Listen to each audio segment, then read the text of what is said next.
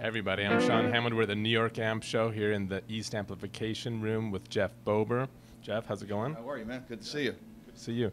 And on guitar, we've got Nikki Morak. Yeah. Hi. How you doing? And they're telling us about the uh, new East Amplification Studio 2.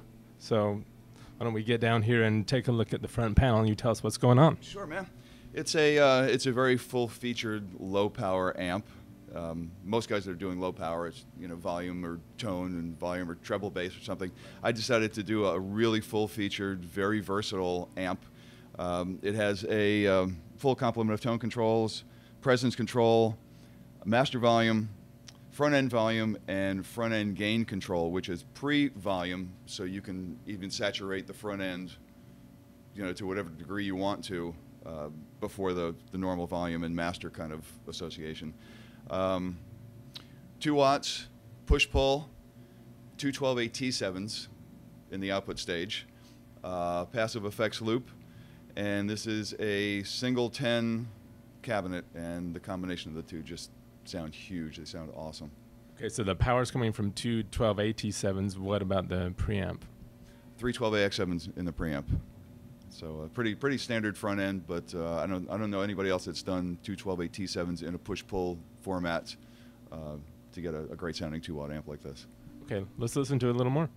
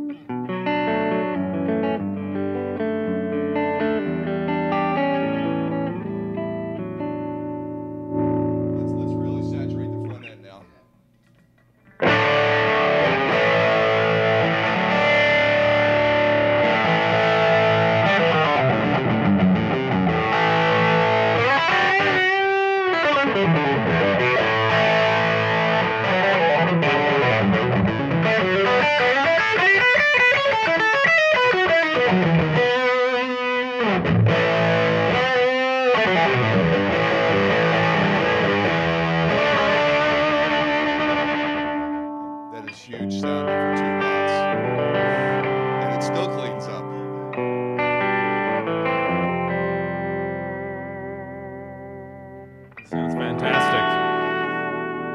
So, where can people go to find out more about these?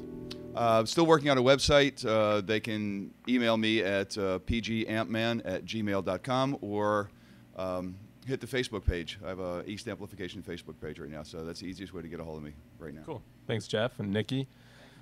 I'm Shawn Hammond. You're watching PremierGuitar.com.